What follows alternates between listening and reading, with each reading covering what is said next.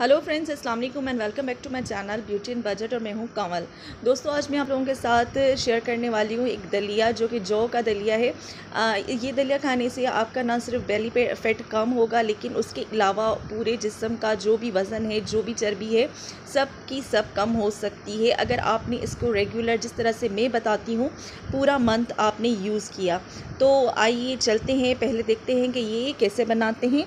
और ये इसके जो इंग्रेडिएंट्स हैं सबसे पहले मैं आपको वो नोट्स नोट करवा देती हूँ। तो फ्रेंड्स इसमें सबसे पहले हमें चाहिए, हमारे पास ये है वाइट ओट्स ये मुझे तीन सौ रुपये के पड़े थे। इसका पूरा पैकेट जो है मुझे थ्री हंड्रेड का पड़ा था। आपको किसी भी मार्केट में किसी और शेप में इस तरह के ओट्स मिलते हैं जौ मिलते हैं तो आप ले लें। ज़रूरी नहीं हो कि इसी कंपनी के हों और यही ओट्स हों। आपको जो भी ओट्स मिलते हैं आप वो ले सकते हैं। ये पैकेट जो है आपको थ्री हंड्रेड का पड़ेगा और पंद्रह दिन इससे आपके अच्छे से निकल जाएँगे।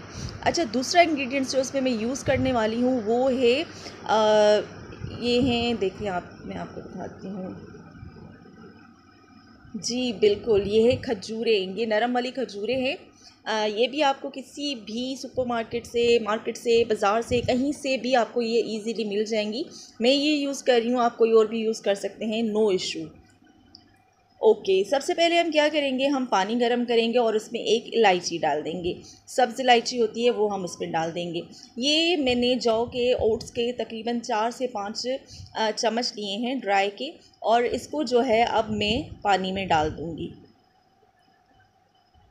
फ्रेंड्स, अगर आपने मेरे चैनल को नहीं सब्सक्राइब किया तो प्लीज़ मेरे चैनल को सब्सक्राइब कर लीजिएगा और वीडियो को प्लीज़ एंड तक देखिएगा कि मैं किस तरह से बनाती हूँ और इसको खाने की टाइमिंग्स भी मुझे आपको अभी बतानी है। अब हम इसको इसमें अच्छी तरीके से मिक्स कर लेंगे। मिक्स करते करते ये कुछ इस तरह का हो जाएगा। और ये जो जौ होते हैं, ये फ़ौर ही पानी में डिज़ोल्व हो जाते हैं फ़ौर पक जाते हैं, ये झटपट से बनने वाली रेसिपी है। उसके बाद मैं इसमें ऐड करने वाली हूँ जीरा।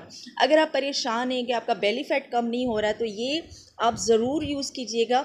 इसके अलावा जो है, और कोई चीज़ नहीं है जो बेली फैट को कम कर सकती है। मेरा तो ये आजमूता है सेल्फ़ टेस्टेड है। इस वजह से मैं आप लोगों को रेकमेंड कर रही हूँ। अच्छा उसके बाद मैं इसमें होल फीट मिल्क जो है वो ऐड करने वाली हूँ, बल्कि कर दिया है मैंने इसमें। अब इसको जो है हम अच्छे से मिक्स करेंगे। अच्छा फीडिंग मदर्स जो होती हैं, अगर वो इस दलिए को लें तो उनका ना सिर्फ़ वज़न कम होगा, बल्कि उनको जो बच्चों को जो फ़ीड करवाने में उनको परेशानी होती है कि दूध नहीं आता या कोई मसला होता है तो उसके लिए भी ये बहुत ज़्यादा अच्छी रेसिपी है। वज़न भी कम रहेगा और तो और बच्चे का पेट भी भरा रहेगा।